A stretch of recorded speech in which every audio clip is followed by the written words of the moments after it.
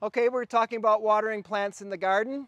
And of course, the three things that you have to keep in mind again are soil, the soil quality and the, and the heaviness of the soil, the environment, of course, how much sun, how much rain we've gotten, how much humidity we've gotten, how many cloudy days, how many sunny days, and how, much, how many windy days we've had. And the third thing has to do, of course, with the plant material. Those are those plants that require a lot more moisture than other plants. This is an example of a shade garden, and so most of these plants are high water loving plants. You have impatiens, hostas, begonias, and these types of plants um, really do require quite a bit more moisture than, than uh, zinnias and other annuals that we plant in the open sun areas.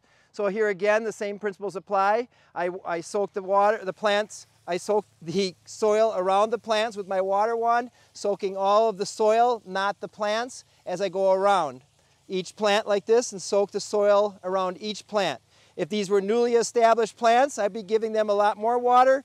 In this case, I usually only have to water once a week in an environment like this, depending again on rain and wind and humidity and how often I water these plants. But this is how it's properly done, not wetting the foliage, watering in and around each plant, soaking the soil around each plant so that the plants have enough moisture to grow and perform well.